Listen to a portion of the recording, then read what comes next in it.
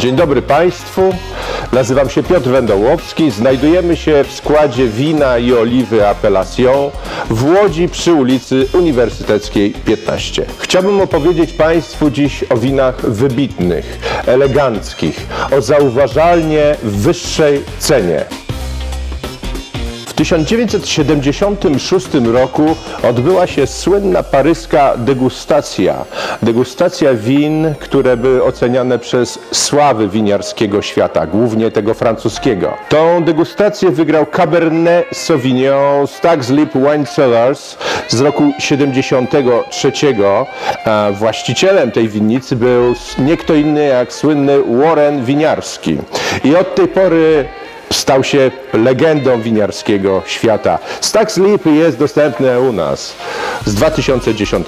Odpowiedzialnym e, za jakość tego wina był nie tylko Warren Winiarski jako właściciel winnicy, ale również rosyjski emigrant Andrzej Trzelistniew, e, który miał później wielki, wielki wpływ na jakość win kalifornijskich, ale również win europejskich wielka, wielka postać, o której mało kto słyszał. Wielkim przegranym tej najbardziej prestiżowej degustacji, degustacji paryskiej był Joseph Drouin, albowiem zajął zaledwie piąte miejsce ze swoim białym winem Clos de Mouche. W Appellation możecie Państwo dostać y, Corton Charlemagne Grand Cru, e, możecie dostać Chablis Grand Cru Le Clos, również Pulini Montrachet Józefa Druena i najbardziej słynna apelacja win czerwonych i białych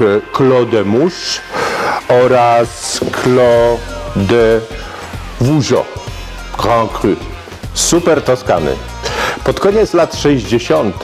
zaczęto zastanawiać się, dlaczego w Toskanii, na wybrzeżu, w Maremma Toskana, powstają wina nieco gorszej jakości. Co zrobić, żeby uzyskać satysfakcjonujące efekty i osiągnąć coś niezwykłego? Marquis Mario Incisa della Rocchetta, który przyjaźnił się z rodziną Rothschildów, ściągnął sadzonki winorośli z Bordeaux, innymi Cabernet Sauvignon, Cabernet Franc, i stworzył wino zupełnie nowe, jak na tamte warunki, mianowicie Super Toscana Sassicaje. Pierwsze powstało w 1968 roku, ale również dzięki swojemu bratankowi Piero Antinori, o którym za chwilę też opowiemy. Rodzina Antinorich również założyła winnicę i również zaczęła produkować doskonałe Super Toskany, między innymi Solaja, o kuparzu Cabernet Sauvignon, Cabernet Franc i Sangiovese, a także na przykład Guado Altasso Superiore, kuparzu Cabernet Sauvignon, Merlot i Cabernet Franc. Kiedy Michał Anioł Buonarroti malował kaplicę sykstyńską, podarował papieżowi Juliuszowi II wino Nitardi Nectar Dei. Dzisiaj nadal jest produkowane, ale już jako Super Toskan. Tradycja jest kontynuowana i właściciele obdarzają papieży Nectar Dei Nitardi. To kuparz Cabernet Sauvignon, Cabernet Franc, Petit Verdot i Merlot. Pierwsza liga Amarone to z rodziny Boscaini Masi. Campolongo di Torbe to ich jedna z lepszych parcel, podobnie jak Mazzano. E, mamy również u siebie Venturini z 2005 roku oraz Amarone della Valpolicella Cabotta. W klimacie kontynentalnym regionu Ribera del Duero powstają wyjątkowe Tempranillo, albowiem owoce są mniejsze i mają grubszą skórkę, dlatego zawierają więcej tanin. Trochę więcej trzeba się napracować przy tym winie, żeby stworzyć coś wybitnego. Pierwszym producentem, który stworzył fantastyczne Ribery była Vega Sicilia. Do tej pory jest to pierwsza liga win hiszpańskich. Chciałem przedstawić wino, ze szczepu Tempranillo, które może leżakować aż 100 lat. To Vega Sicilia Unico Reserva Especial.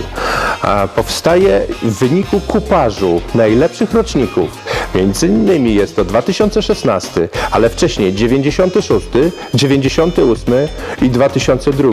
To dla wszystkich zaskakujące, że można w ten sposób mieszać również roczniki. I to wstaje wino naprawdę wybitne. 100 lat gwarancji. Wina wybitne, eleganckie, na specjalne okazje, na święta, na weekend i na co dzień. Tylko u nas w Appellation przy ulicy Uniwersyteckiej 15 w Łodzi.